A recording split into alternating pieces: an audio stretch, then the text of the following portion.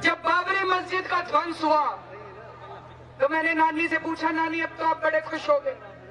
अब तो आपके भगवान राम का मंदिर बनेगा। कहती है, ना बेटा, मेरा राम किसी की मस्जिद तोड़ के ऐसे मंदिर में नहीं बस सकता।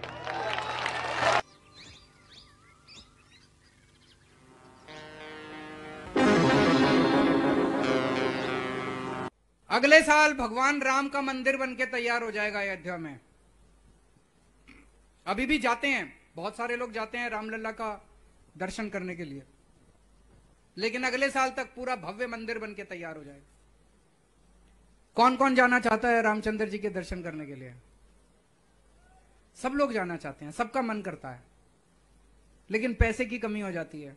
आना, जाना, रहना, खाना, पीना, और पूरा परिवार लेके जाओ तो और भी पैसे लगते हैं। मैं आपको फ्री में दर्शन कराऊँगा भगवान राम के अयोध्या में।